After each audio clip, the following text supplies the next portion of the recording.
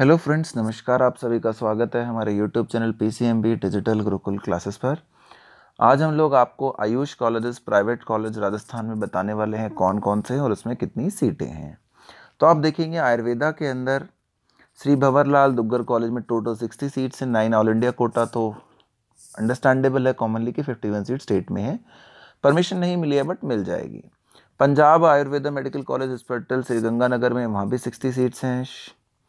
झुंझुनू में जो कॉलेज है, वहाँ भी सिक्सटी सीट्स हैं, जयपुर में फिफ्टी सीट्स हैं एट उसी हिसाब से ऑल इंडिया कोटा में फिफ्टीन परसेंट कम हो गई है एक।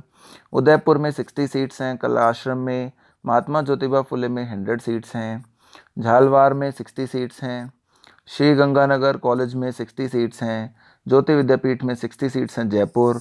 तो ज़्यादातर कॉलेज में आप देख रहे होंगे सिक्सटी ही सीट्स हैं।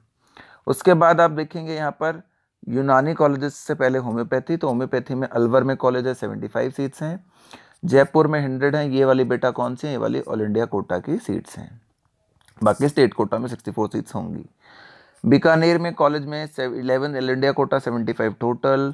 Bhartiya Bharatpur में forty total, six all India quota. Homeopathy colleges हैं सारे, जयपुर में sixty nine.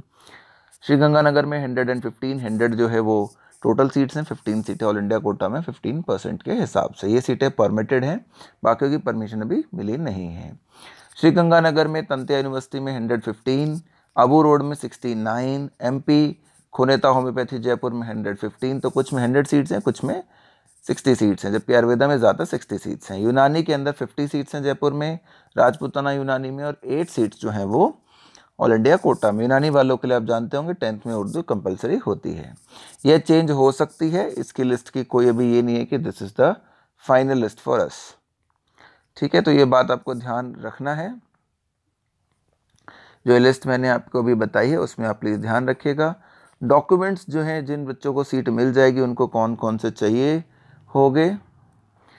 NEET 2020 NEET UG दसवीं का मूलांक सूची, बारहवीं की मूलांक सूची यानी कि मार्कशीट, जन्म प्रमाण पत्र, मूल प्रमाण पत्र और मूल निवास पत्र, ये डॉक्यूमेंट्स आपको चाहिए होंगे एडमिशन लेने के टाइम पर।